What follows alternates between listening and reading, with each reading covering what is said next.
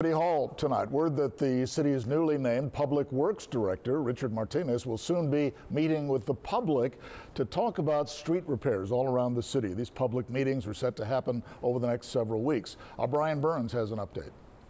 Part of Richard Martinez's job will be to oversee projects like this one going on throughout the city, this one being on Morgan, and using city street crews to speed up some of those projects. Gives me an opportunity to give them my approach to street maintenance and the vision for our city over the next few years. Martinez, who was introduced by the city manager last week as the new director of public works, says he plans to improve communications with residents and businesses for all street projects that may affect them. But he says the most important part of these upcoming meetings is to hear directly from residents. There is going to be a lot more construction, but we understand what, what those concerns are, and we'll try to make it as least uh, invasive as we can.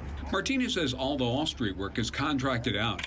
He would like to get the city streets department back into a mode to help with current and future street work projects as well as maintenance. The meetings for districts 3 and 4 will be held next Wednesday and Thursday.